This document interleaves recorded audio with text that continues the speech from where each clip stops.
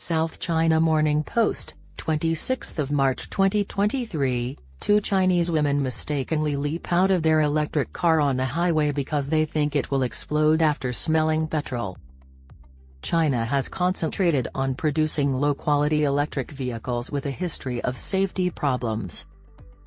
Two Chinese women made headlines on mainland social media after jumping out of an electric car moving on a highway because they believed they smelled gasoline and were afraid it would explode. The two from Zhejiang province in eastern China reportedly leapt from the electric vehicle on March 22 while it was moving along a highway because they believed the smell indicated the car would explode.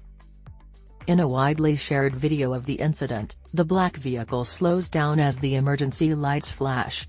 The front passenger and driver doors suddenly swing open, and the two ladies leap from the moving car. A bus following them swerves out of the path before continuing. The two women are seen running away from the abandoned vehicle after jumping to the ground and standing up. The women were trying to comprehend what had happened when the local traffic police arrived on the scene and swiftly responded. They told police, when we smelled the petrol fumes in the vehicle, we thought it would explode. They claimed they could not comprehend why they could smell gasoline fumes while operating an electric car. They both decided to jump out of the vehicle after determining that it must be related to a fuel leak and that an explosion was about to happen.